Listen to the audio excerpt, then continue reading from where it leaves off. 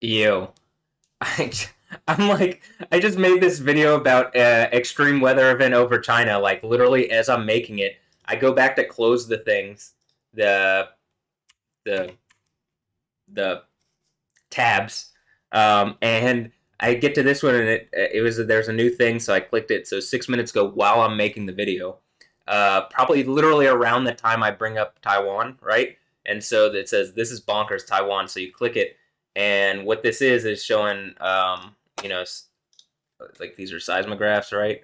And I think of, like I'm guessing Taiwan, Taitung, Taiwan, right? Uh, and so you look here, and I think there were some earthquakes that just happened. This says 5.4 kilometer. I mean 5.4 magnitude. Well, here we can check this really quick, actually. Oh yeah. So like while I'm Oh, I guess these have been going on all morning, huh?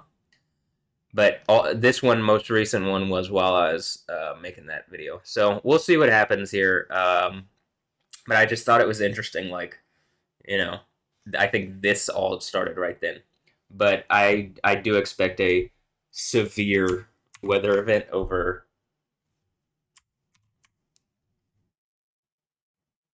specifically China. And maybe Taiwan. I mean, you know, I think that they're going to get some of it. That's what it seems to be. So, um, you know, just keep looking at the we'll just keep looking at the the radar and stuff and and see what's going on and I'll, I'll try to keep tuned in. Um, but yeah, okay. Well, let's see. Got all sorts of activity going on. All right for this. I'll I'll keep this, and if it's something significant, it'll go up. So anyway, have a blessed one. Catch you next time. Later. Yeah.